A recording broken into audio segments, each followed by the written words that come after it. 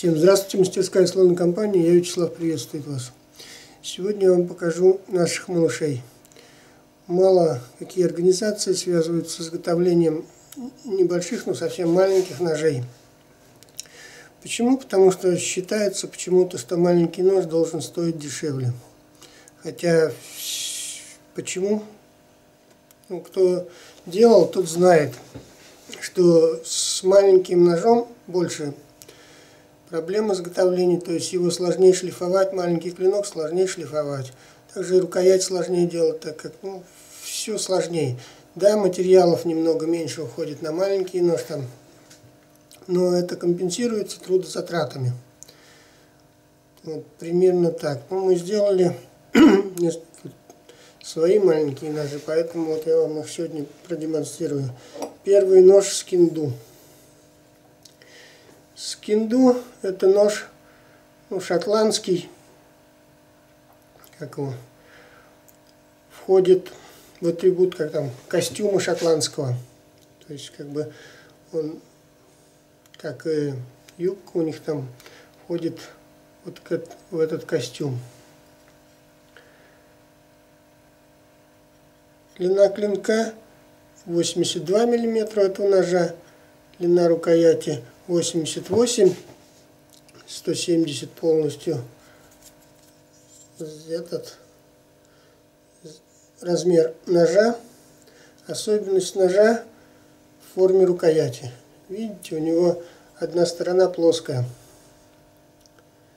То есть одна сторона у него полностью плоская, поэтому он очень хорошо лежит в руке для маленького, очень легкого ножа. Вполне даже. Этот нож мы сертифицировали, хотя у него длина клинка до 90 мм, сертификации такие ножи не требуют, но эти ножи пользуются спросом магазинов, так скажем, так назовем. В магазинах все-таки проще продавать сертификатом. В Европе тоже спрашивают их. В магазине проще продавать сертификатом, поэтому я сертифицировал этот нож. Второй нож вот такой вот. Это так. Его сделали в одном экземпляре. Этот нож мы не сертифицировали. Длина клинка у него 80 мм, длина рукояти 80 мм. 108, 160 полностью длина этого ножа. А скинду толщина клинка 2,2 мм, 2,2 мм. Это уже потолще 3,6 миллиметра. То есть вот он так лежит в руке. Маленький, довольно удобный нож. То есть вот руку можно брать и работать, что угодно им делать. То есть такой небольшой, хороший нож. Вот опять же, глядите, как он лежит плавно в руке. Если вот так вот брать, он плавно лежит в руке и очень хорошо им что-то делать. Удобный нож. Мы сделали в одном экземпляре, не знаю, будем ли делать это, да и не знаю, будет ли спросом это все пользоваться. Ну так, сделали. Третий нож вот такой, так скажем, в японском стиле, по форме. Длина клинка у него 85 мм, длина рукояти 80, общий размер 165 мм, толщина клинка 3,5 мм. Ну, это для любителей Японии. Я, опять же, я не говорю, что это японский нож, не надо потом там говорить, что никакой это не японец, ничего в стиле японском. Вот и все, что я имею в виду. Есть карельская береза на рукояти, а два последних ножа цельнометаллические – Скинду нет, но цельнометаллический. Ну, в принципе, это тоже очень удобно, если что-то резать. Небольшой, на природе. Очень удобные ножички. Ножны к скинду делаем обычно индивидуальные, но сейчас их нет в наличии пока. Поэтому предложу вариант ножен. Ну, недорогой, индивидуальный, все-таки дорогие ножны получаются, даже для скинду для маленького ножичка. А, бюджетный вариант ножен, так скажем, ну, нормальный, вполне подойдет. Сейчас я покажу вам. Конечно, ножи не обязательно для женщин.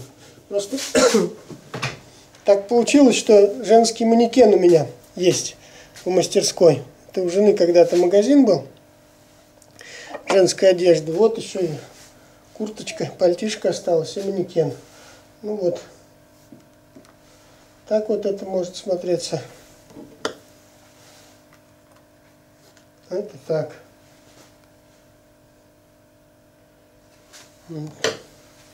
Можем вот это вытащить. Сделать так. Вот небольшие ножички. Их, честно говоря, эти два ножа завели давно, когда заказов было немного, работы было, ну, не, немного, много все равно работали, но были, было время на вот такие вот плавство, или как это назвать,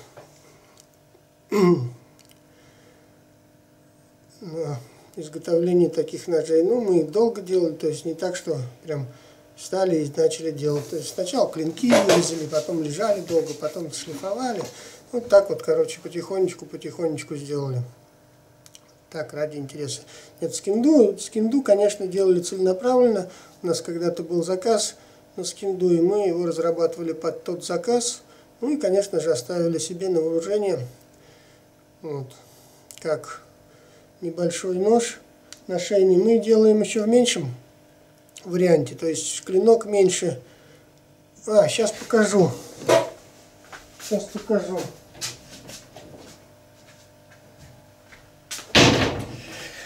Вот такой вот вариант еще делаем. Ну, сделали. Здесь уже, конечно, здесь все меньше. То есть, глядите, разница какая. Это чисто нашейный вариант, даже вот без этой, без пятки, то есть такой вот небольшой. Длина клинка у него 63 миллиметра, длина рукояти 75 миллиметров. Не знаю, толкат для вас делает. Не знаю, понравится он вам или нет. Толгат, ты понял, наверное. Хотел тебе фотографию показать, но пока ножны не сделали, ножны к нему будем делать индивидуальные. Поэтому я тебе фотку не скидывал, а сейчас вот вспомнил про него, ну вот показываю. Такой вот небольшой ножичек. Ой, это здесь уже стали М390. На тех всех Х12МФ, на этом стали М390. Конечно, этот будет не очень дешевенький ножичек, но вполне хороший, то есть будет варианты. Ножны будут такие хорошие, индивидуальные, уже формованные ножны по рукояти. То есть они будут более удобные, ну, конечно, более дорогие. Ну вот, примерно такие вот маленькие ножички я вам показал. Опять же скажу, ну вот, допустим, такой вот клиночек маленький, такого вот формата, кинжальный. Шлифовщик сказал, что больше не надо такие делать. То есть он с ним мучился дольше, чем с обыкновенным кинжальным клинком, потому что вот этот маленький вывести ровную линию, вот эти, очень, очень и очень неудобно. Предлагает в следующий раз делать ну, взрезку вот от, от обуха до конца.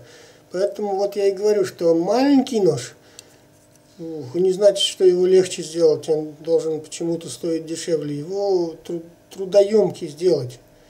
То есть даже рукоять что-то делать, его вот двумя пальчиками, сложнее. Также и клинок, и все остальное. Это я не оправдываюсь, это я к тому, что ну, почему их мало на рынке, таких ножей, потому что все думают, что они должны быть совсем дешевые, почти что за копейки. Ну, честно говоря, я так не думаю. Ну, а приобретать их или не приобретать, это, конечно же, ваше дело. Каждого свое мнение по этому поводу. Я просто знаю, как сложно в изготовлении маленькие ножи. Всем спасибо за внимание, всем удачи, здоровья, всего хорошего, до новых встреч.